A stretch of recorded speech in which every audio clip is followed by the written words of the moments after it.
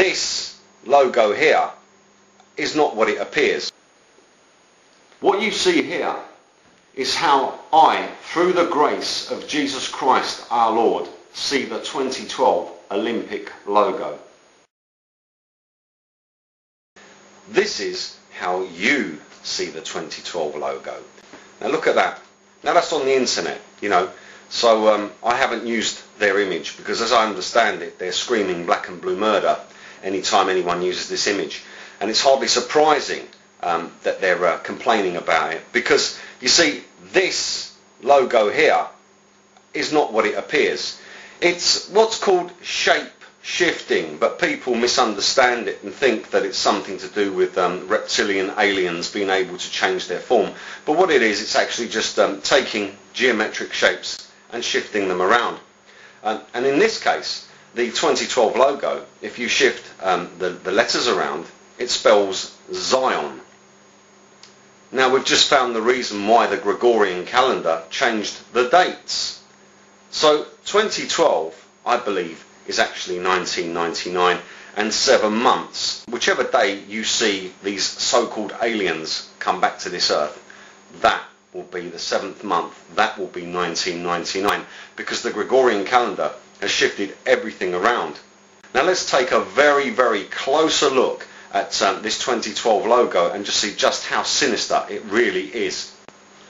Now in order to break the cryptography of the um, Olympic uh, logo, the 2012 Olympic logo, what you need to do is uh, take a, a, a picture of it like this one here. Make three copies as shown here. Alright, now once you've got those four pictures, what you do is you put them um, into uh, your Windows Movie Maker. Now make sure that your pictures are all centralized properly and blend picture 1 and 2 together and you will get this picture here.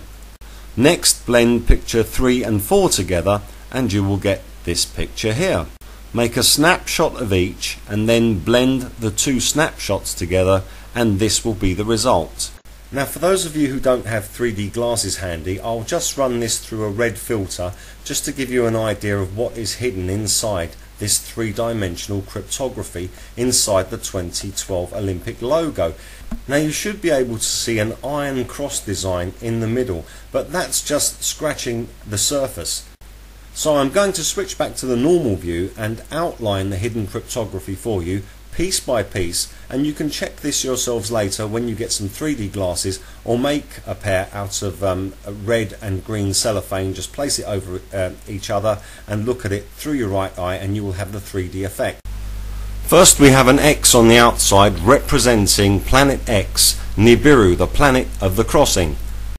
Then we have a square in the centre and an iron cross just like the Nazis' iron cross. Then we have an X in the center which along with the square box represents a two-dimensional bird's eye view of a Mayan pyramid. The small x in the center then extends into a larger x with four inward-facing uh, triangular shapes. This then also represents four torches. From a three-dimensional bird's eye view perspective, these torches would be facing towards you However, from the perspective of a three-dimensional geometric drawing, they are depicted as being folded outwards. Notice that there are four sets of Olympic rings emanating from the four torches representing the flames of the Olympic torch. These four torches also represent flying saucer landing pad pillars, in other words, pillars of fire. Now look closely at the Olympic rings and you will notice that they all overlap one another, forming lenticular shapes. A lenticular shape is a lens, an eye. So the well-known overlapping five-ring Olympic logo represents an array of eyes. There are also four royal crown shapes hidden here, and also four mace heads hidden here. The next hidden shape is an octagon. This is now followed by a large horizontal lenticular shape forming a complete eye. And finally a vertical lenticular shape forming yet one more all-seeing eye. Now before I show you exactly what this means and just how sinister it is and what implications it has for mankind, I'm just going to show you some ev evidence to prove that this is not a fluke. This is an 1887 Queen Victoria florin. The design in the centre of this coin fits perfectly into the cryptic three-dimensional Olympic logo. Next, this Elizabethan coin's design also fits perfectly into the three-dimensional cryptic design of the Olympic logo. And of course the designs of both of these coins perfectly overlap one another and also fit perfectly into the three-dimensional cryptography of the 2012 Olympic logo. There are also four strange faces hidden in this cryptography here. So we'll just move in and make a comparison with the so-called Anunnaki statue.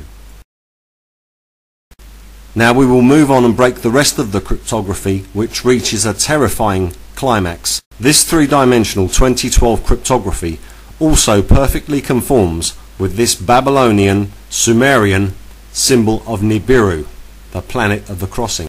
The giant to the right hand side of this um, carving is called uh, an Anunnaki, but that cannot possibly be so because he is a giant, therefore he is a Nephilim, and the Holy Bible tells us that the fallen angels came and had sex with the human women and they gave birth to giants, not had sex with giants. So this is not an Anunnaki, he is a Nephilim.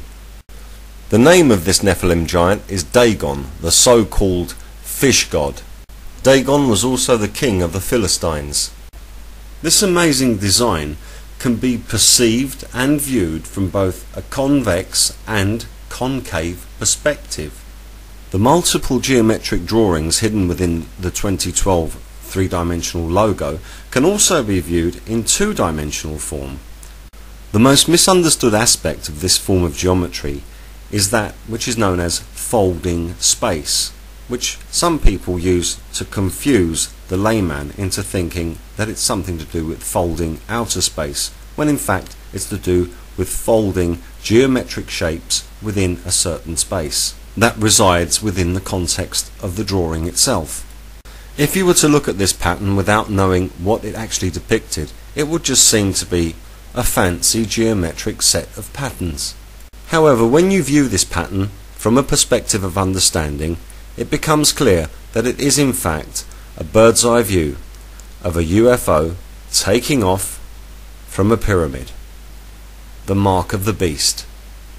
So far we have definitive evidence linking Nephilim giants, Great Britain, the planet Nibiru and the 2012 Olympics. And those of you who have watched the rest of our series Nibiru Palace also know that this conforms perfectly with the Egyptian pyramids and UFO flying saucer evidence which is found all over the world. Now due to the gravity of this ever increasing evidence, the question that everyone needs to ask is is was this logo design purely a fluke or is this part of a real end time Nephilim conspiracy as spoken of in the book of Revelation?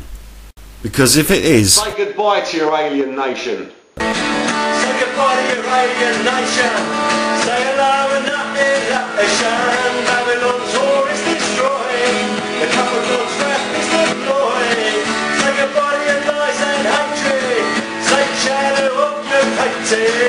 You're gonna be destroyed. You're going to